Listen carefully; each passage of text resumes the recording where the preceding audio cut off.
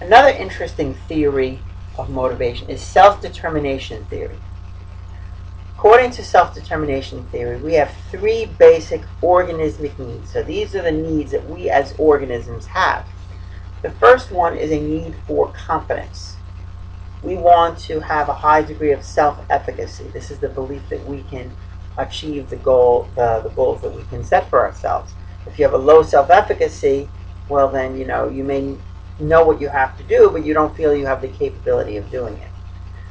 So you want to have high self-efficacy a sense of mastery, being able to uh, achieve something. So mastery of uh, psychology is not about the grade that you get on your exam, but it's about feeling that you really learned the material well. Uh, and you have high expectations for success. You know, so the, your need for competence is to fulfill these uh, these these basic needs. So let's say the second one is relatedness. This is the desire to have more warm relations with other people. You need to be able to belong. You don't want to be isolated. You don't want to be left out of the crowd. You would like to be accepted and liked by other people. Finally, might seem like different from what might seem opposite of relatedness, but it really isn't. It's a sense of autonomy. It's not about being by yourself and doing your own thing but it's about being independent and not having to rely on anybody but yourself. You still would want to have warm relations with other people, but autonomy essentially means you have self-control. You don't feel as if you are controlled by others. So these three basic needs uh, are really all we need in terms of motivation, according to this particular uh, theory. Another concept when it comes to motivation, the, uh, understanding motivation, is the concept of self-regulation. Realizing this, motivation is driving us, is pushing us to achieve our goals, to push us toward our goals. Self-regulation, though, is our way of establishing whether or not we are on the right way to achieving those goals. So we are monitoring ourselves. We are regulating ourselves so do we need to push ourselves a little harder here? Okay. Do we need to step back a minute over here? Okay. They rely on feedback. You know, are you pushing too hard? You need to let step back a minute.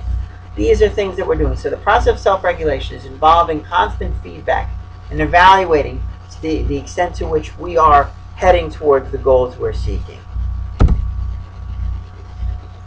So we're setting goals setting goals that are specific. It's easier to be, you know, you're much better off if the goals that you're seeking are very specific.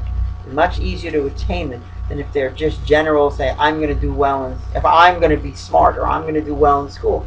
Or specifically say, I'm going to get an A in the psychology class is a little bit more specific. I'm going to do well on this next exam. I'm going to get at least a, a 90 on the next exam. That's also specific. You want your goals to be moderately challenging. Uh, so the process of self-regulation, your, your, your motivation, you don't want to be just giving yourself goals that are, you know, easy, ridiculous to, uh, ridiculously easy to, to achieve. You want to be able to work toward this goal. The goal, to, in order for this goal to be meaningful, it needs to have some work to it. But you don't want it to be too challenging because then there's a threat that you won't reach it. You want to reach goals that are reachable. And you want to have a long-term purpose. You want to be able to say that, you know, this is, you know, it's it's one specific goal that we're achieving, but we're looking for the future in this particular case too. It's a it's a path in that for the future.